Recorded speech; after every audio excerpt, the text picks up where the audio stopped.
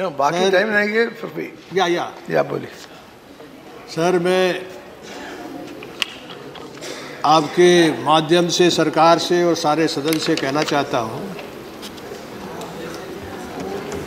कि गहलोत साहब ने और भूपेंद्र जी ने काफ़ी मेहनत करके इस कमीशन को लाया इसके समर्थन में खड़ा हूँ। लेकिन साथ साथ मैं ये ज़रूर अपनी बात को रख देना चाहता हूँ ये सदन कानून बनाता है, अधिकार देता है, और व्यवस्था जो है, वो कास्ट सिस्टम ही व्यवस्था है। वो एक हाथ से मिलता है और दूसरे हाथ से छीनते रहता है। ये सारे सदस्यों ने बहुत विस्तार से, डी राजा ने बोला है, राम गोपाल जी ने बोला है। काफ़ी लोगों ने बोला, इसलिए मैं विस्तार से उसमें नहीं जाना चाहता। रिजर्वेशन खास करके लोगों ने जो मांग की है कि गहलोत साहब, किसी की आर्थिक स्थिति जो शूद्र है, अतिशूद्र है, उससे बदल नहीं जाती, वो चाहे कुछ हो जाए। ये जो कोर्ट है, सुप्रीम कोर्ट वो कभी कभी बहुत मैं उसका सम्मान करता हूँ अच्छा काम करती है। लेकिन ये जो आर्थिक आधार बनाया है, इसने तबाही कर दी है। अभी बावन से पचपन बच्चे जो हैं, पास होने के बाद, सर, उनको मैंने प्रधानमंत्री को भी लिखा है, मंत्री को भी लिखा डीओपीटी को। उनकी खोजबीन हो रही कि उनकी आमदनी क्या है। अभी रामगोपाल जी ने जो बात कही है, विस्तार में नहीं जाता आपकी मैं मजबूरी समझता हूँ उस समय नहीं है। इसे, ये जो कमीशन बनाया है, ये बगैर दांत के, वो शेड्यूल कास्ट का हो शेड्यूल ट्राइब्स का हो, और चाहे वो बैकवर्ड क्लास का हो, मगर एक कदम है ये। ये बहुत जमा हुआ देश है, बड़ी कठिनाई से सरकता है। ये जो क्रीमी लेयर लगाया है, ये बहुत संविधान के साथ सबसे बड़ा अन्याय है। और संविधान बनाने का तो हमारा है। यानी आपने छः लाख रखा है, मैं क्या कहूँ आपसे?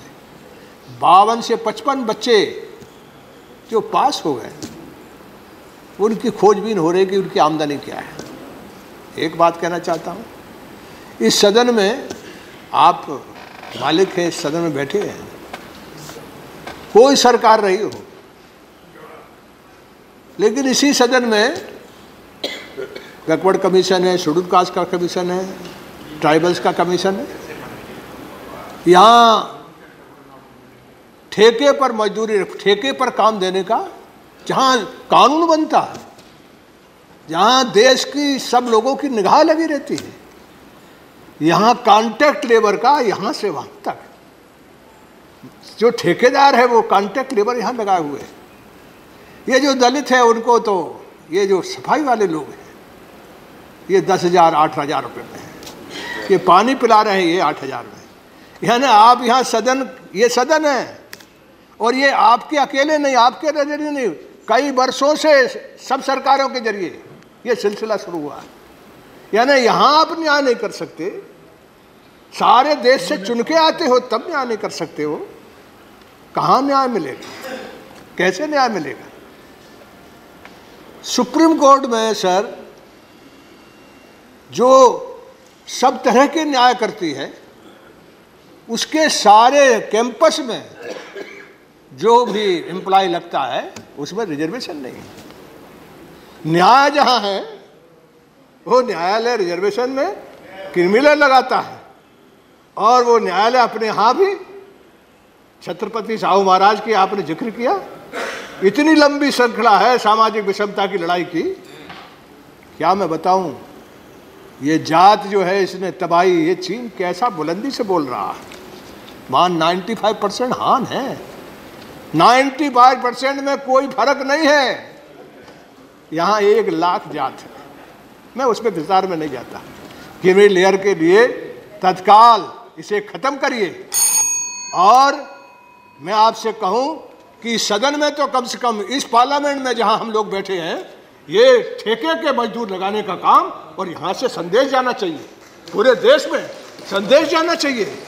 ये सदन जो है वो यहाँ इस तरह से आदर्श पे चलती है। यहाँ से संदेश जाएगा तो फिर सब विभाग में जाएगा। सब जगह कॉन्ट्रैक्ट लेबर कॉन्ट्रैक्ट लेबर लिया जा रहा है। सारी पब्लिक सेक्टर में लिया जा रहा है। कहाँ से? और प्राइवेट से आप पब्लिक सेक्टर को अरे आप उनको डिसइन्वेस्टमेंट कर करते जा रहे हैं? आप बताइए कहाँ से रिजर्वेशन का मतलब है? ये जो कमीशन है मैं इसके हक में मैं मानता Okay. हूँ कि भूपेंद्र जी ने इस पर काफ़ी मेहनत की है। अच्छा। इसके सदस्यों ने बहुत मेहनत की है।